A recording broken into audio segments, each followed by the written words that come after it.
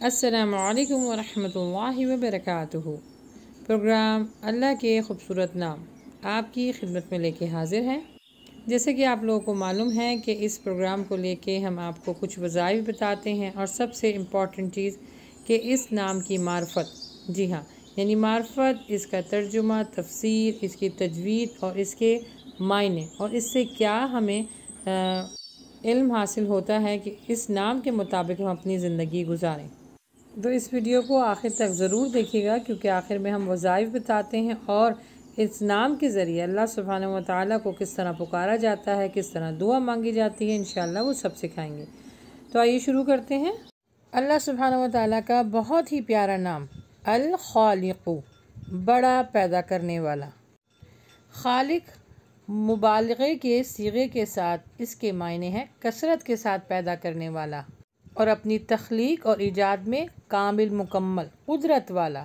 قرآن پاک میں یہ اسم گرامی دو مقام پر آیا ہے۔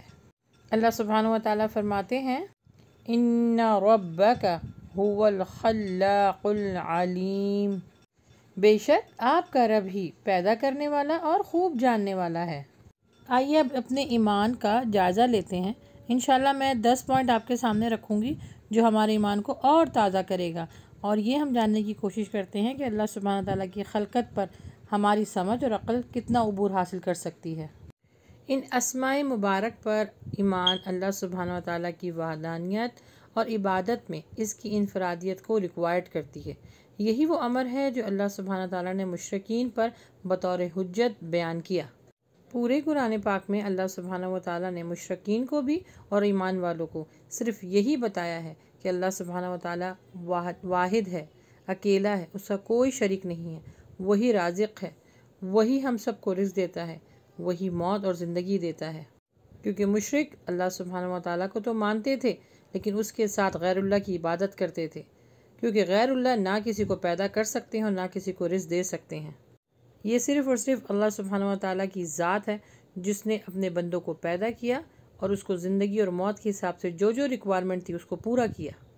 اللہ سبحانہ و تعالیٰ کے اس میں خالق پر ایمان رکھنے سے دل میں اس کی کامل محبت پیدا ہوتی ہے، کیونکہ وہی تو ہے جس نے انہیں عدم سے وجود بخشا اور ان پر اپنی نعمتوں کے دریا بہا دیے اور تمام مخلوق کو ان کے لیے مسخر کر دیا۔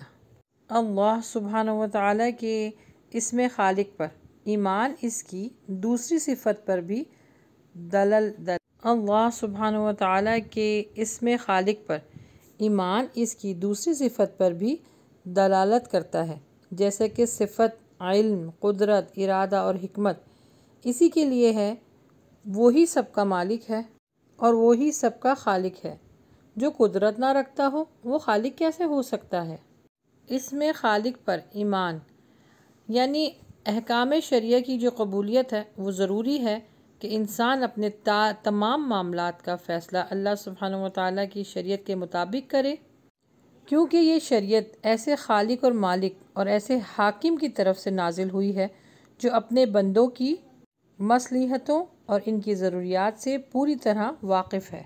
اور یہ شریعت سب سے زیادہ کامل، بہتر اور مناسب شریعت ہے۔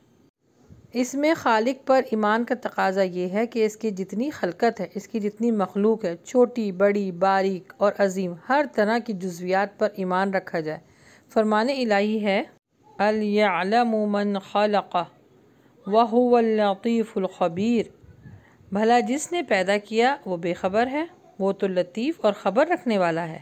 جب انسان کائنات کی چھوٹی، بڑی، عجیب مخلوق کو دیکھتا ہے تو اس کے دل میں اللہ سبحانہ و تعالیٰ کی عظمت پیدا ہوتی ہے۔ کیونکہ جس خالق نے اتنی پیاری پیاری چیزیں بنائی ہیں، اتنی پیاری کائنات بنائی ہے، اتنی مکمل کائنات بنائی ہے، تو اس کی عظمت کا عالم کیا ہوگا؟ کیونکہ اللہ سبحانہ و تعالیٰ نے جو کچھ اس کائنات میں بنایا ہے، وہ مکمل اور حکمت کے ساتھ تخلیق دیا ہے۔ جبھی تو وہ بلند ہے، بالا ہے، وہ جدا ہونے کے باوجود بھی اپنی قدرت اور اپنے رویے کے ساتھ بندے کی شہرک سے بھی زیادہ قریب ہے۔ مگر اپنی ذات کے لحاظ سے مخلوق سے جدا اور عرش اعظم پر جلوہ گر ہے۔ اچھا یہاں پر ایک بات مینشن کرتی چلوں کہ اللہ سبحانہ و تعالیٰ کی جو ذات کا کانسیپٹ ہے، وہ یہ نہیں ہے کہ وہ کسی مخلوق کے اندر ہے یا پھر یا پھر اپنی ذات کے ساتھ ہر جگہ موجود ہے۔ جیسے کہ بعض عوام الناس میں یہ غلط فہمی پائی جاتی ہے کہ اللہ سبحانہ و تعالیٰ ہر جگہ ہے۔ اللہ سبحانہ و تعالیٰ اپنے عرش پر ہے، لیکن کائنات کے ذرے ذرے سے آیا ہے۔ یعنی وہ اپنے علم کے ساتھ دنیا کے ایک ایک ذرے کو دیکھ رہا ہے۔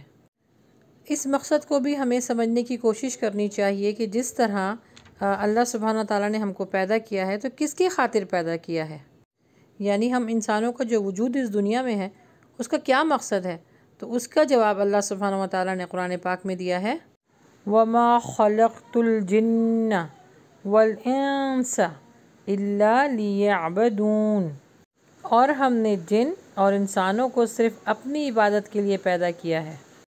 تو انسان کا یہ پختہ یقین اور ایمان ہونا چاہیے کہ اسے یوں ہی بیکار پیدا نہیں کیا گیا، بلکہ اللہ سبحانہ تعالیٰ نے سورہ مؤمنون میں فرمایا ہے، تو کیا تم سوچتے ہو کہ ہم نے تمہیں بے مقصد پیدا کیا ہے؟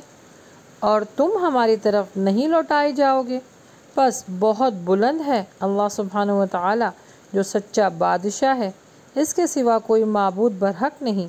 عزت والا عرش کا رب ہے۔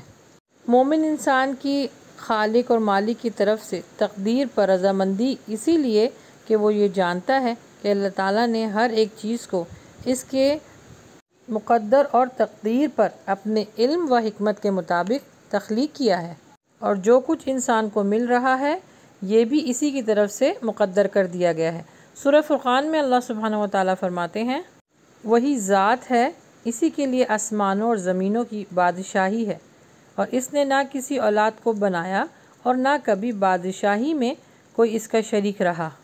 اور اسی نے ہر چیز کو پیدا کیا، پھر اس کا انداز مقدر کر دیا۔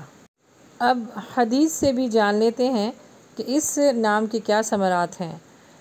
انسان کو چاہیے کہ اللہ سبحانہ تعالیٰ کی تخلیق کے مقابلے میں کوئی بھی تخلیق نہ کرنے کی نہ کوشش کرے۔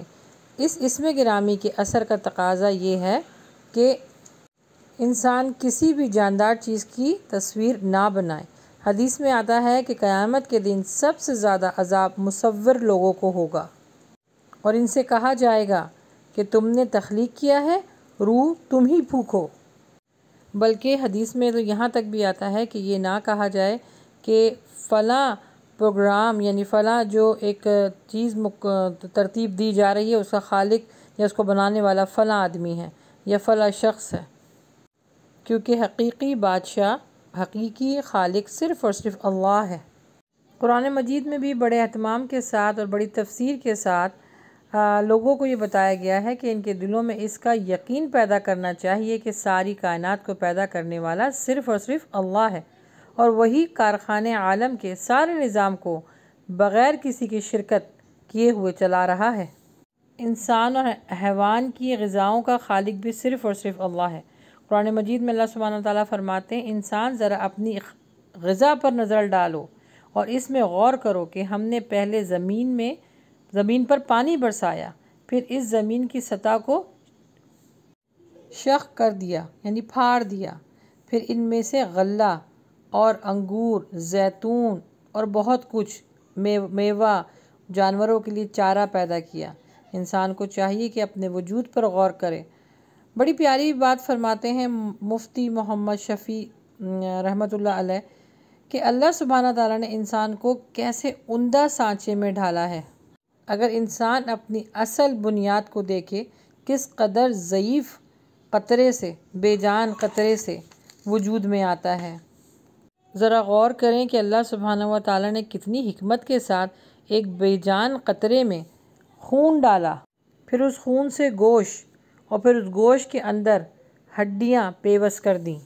وہی وہ رب ہے جس نے ہمیں ہر نعمت سے نوازا ہے۔ تو بندے کو چاہیے کہ اس بات پر اپنے یقین کو بڑھائے کہ الخالق یعنی ہر چیز کا پیدا کرنے والا صرف اور صرف وہ رب ہے۔ کوئی بھی چیز اس دنیا میں اس کے حکم کے بغیر اس دنیا میں پیدا نہیں ہو سکتی۔ اور اللہ سبحانہ و تعالیٰ اپنے قرآن پاک میں فرماتے ہیں وفی انفسکم افلا تبصرون۔ ترجمہ ہے، اور خود تمہاری ذات میں بھی نشانیاں ہیں۔ کیا تم نہیں دیکھتے ہو؟ یعنی آپ دیکھیے کتنا زبردست نظام بنایا ہے اللہ سبحانہ و تعالیٰ نے انسانوں کا۔ پوری کائنات بھی مل کر کسی ایک بندے کا ہاتھ یا پاؤں نہیں بنا سکتی ہے۔ تو ہر مسلمان کا یہ عقیدہ ہونا چاہیے کہ اولاد دیتا ہے صرف اور صرف اللہ۔ ہر جاندار میں روح ڈالنے والا صرف اور صرف وہ خالق اور مالک ہے۔ بیٹا اور بیٹی اللہ ہی دیتا ہے۔ پھر ہم کیوں فقیروں کے پاس اور پیروں کے پاس یا مزاروں پر جاتے ہیں؟ دیکھا جائے تو وہ بھی اللہ ہی کے بندے ہیں۔ وہ بھی اللہ ہی سے مانگتے ہیں۔ اپنے ایمان کو مضبوط رکھیں۔ دینے والی ذات صرف اور صرف اللہ کی ہے۔ ہمارے گھر میں اگر کوئی پریشانی آ جاتی ہے، جادو، بندش یا بیٹا بیٹی کے رشتے نہیں ہو رہے ہوتے، اولاد نہیں ہو رہی ہوتی، تو ہم کیا کرتے ہیں؟ ہم فوراً مزاروں پر جا کر ماتھا ٹیک لیتے ہیں۔ یاد رکھیں، یہ بہت بڑا شرک ہے۔ اس سے بچنے کی ضرورت ہے۔ اللہ ہم سب کے ایمان کی حفاظت فرمائے۔ آمین۔ اب اس نام کی تجوید دیکھ لیتے ہیں۔ الخالق الخالق یہ نام اب اپنے بچوں کا بھی رکھ سکتے ہیں، لیکن صرف ال ہٹا کے، کیونکہ عربی زبان میں ال خاص چیزوں کے لیے استعمال ہوتا ہے۔ اور اس صفت کو انسان اپنے بچوں کا نام اس طرح رکھ سکتا ہے، کیونکہ اللہ سبحانہ و تعالیٰ نے انسان کو بھی صلاحیت دی ہے کہ وہ اللہ کے حکم سے انسان کو پیدا کرتا ہے۔ یعنی ماں اپنے بچے کو پیدا کرتی ہے، لیکن صرف اور صرف اللہ کے حکم سے، اللہ کی عطا سے۔ اب اس نام کو لے کے جو وظیفہ ہے وہ سن لیجیے۔ سب سے پہلا وظیفہ ہے، جس کسی گھر میں بیٹا یا بیٹی یعنی اولاد نہیں پیدا ہو رہی ہو، تو وہ اس نام مبارک کو تحجد کی نماز کے بعد سو مرتبہ پڑھے انشاءاللہ اللہ سبحانہ و تعالیٰ نرینہ اولاد عطا فرمائیں گے۔ جو بھی کام آپ کا بگڑ گیا ہو، اس نام کو سو مرتبہ فجر کی نماز کے بعد پڑھیں، انشاءاللہ آپ کے سارے بگڑے کام بن جائیں گے۔ اس نام کو پڑھنے کا طریقہ ہے، یا اللہ یا خالقو یا اللہ یا خالقو